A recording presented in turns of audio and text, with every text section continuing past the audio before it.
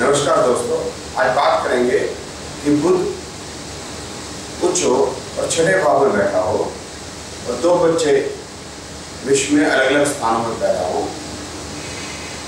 लगन की डिग्री एक हो बुध की डिग्री भी तकरीबन वही हो तो क्या उच्च बुद्ध का एक रिज़ल्ट आया है? इस समय पे जो उदाहरण ले रहे हैं, वह दो बच्चे एक लंदन में पैदा हुआ, एक दिल्ली में। और बुद्ध जो है, छठे भाव में लगन मेष है। बुद्ध कन्या राशि में। देखिए क्या रिज़ल्ट क्या रिज़ल्ट एक ही आएँगे बदलेंगे आपके सामने आ जाएगा।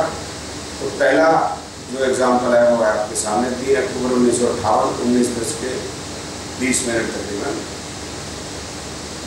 यूनाइटेड किंगडम लंदन का दूसरा जो है देखिए,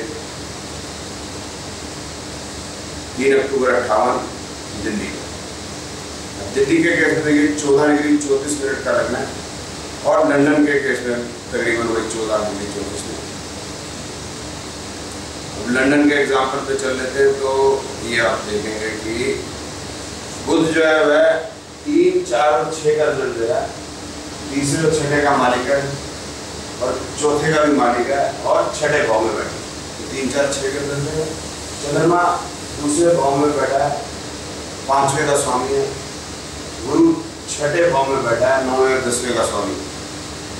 नाड़ी ज्योतिष के अनुसार ग्रह से अधिक नक्षत्र के फल आते हैं, नक्षत्र से अधिक उप नक्षत्र के फल आते हैं। तो हम पाएँगे कि ये जो बुद्ध है वह एजुकेशन पढ़ाई के लिए अच्छा है, काम धंधे के लिए बढ़िया क्योंकि छः और दस भाव उप नक्षत्र में आ रहे हैं। लेकिन ये विवाह को मना करता है छः दस भाव जो है नीचे आ लंबी दूरी की यात्रा है सक्सेसफुल है, पाँच और बार बार चेंज होता रहेगा प्रोफेशन और क्योंकि पाँच और नौ भाव हैं तो सेहत अच्छी रहेगी और इंटेलिजेंस लेवल अच्छा अब जो दिल्ली में बच्चा पैदा हुआ, लंग की डिग्री वही है बुध भी उसी चंद्रमा और गुरु के नक्षत्र नक्षत्रों में तो हम देखिए बुध तीसरे और छठे भाव के फल दे रहा चौथे का फल निकल गया। चंद्रमा दो, चार और पाँच के फल दे रहा है और गुरु छठे नौ और बारह के फल। अब यहाँ पर गुरु का स्वामित्व बदल गया चंद्रमा का स्वामित्व बदल गया और बुध के भी स्वामित्व बदल गया। इसलिए जो भाव आगे वो अलग भाव आने से क्या फ़र्क पड़ गया ये फ़र्क पड़ गया कि नक्षत्र उपनक्षत्र जो है, छह बारह भाव बता रहा तो ये आप जानते हैं बुरे भाव। तो ये बुद्ध जो है समस्या पैदा करेगा। लंबी दूरी की यात्रा में समस्या पैदा करेगा एजुकेशन में समस्या पैदा करेगा काम धंधे में। विवाह लिए बुद्ध इतना बुरा नहीं है, लेकिन उस बुद्ध से अच्छा है, लेकिन इतना अच्छा नहीं है। और बाकी सभी चीज़ों के अंदर ये नेगेटिव अब ये उच्च का बुद्ध। पढ़ाई लिखाई में भी गड़बड़। बता रहा है। काम धंधे में भी गड़बड़। क्योंकि आपको उससे मतलब नहीं है, आपको मतलब है कि ये भाव क्या है? जो भाव होंगे वही रिज़ल्ट होंगे। भावों के रिज़ल्ट बदलेंगे तो नहीं वो तो वही रहने। बारहवीं के जो जो सिग्निफिकेंस है, वही रहने। छठे के जो है, वही रहने। नौ एक वही रहने।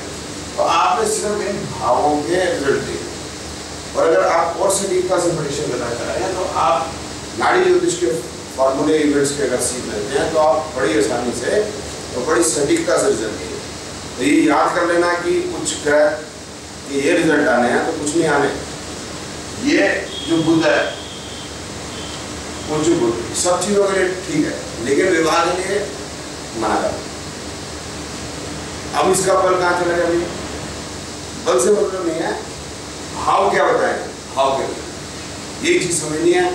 इसी चीज़ से अगर रिज़ल्ट पाएँगे तो आप देखेंगे कि आप सटीकता से रिज़ल्ट But 那边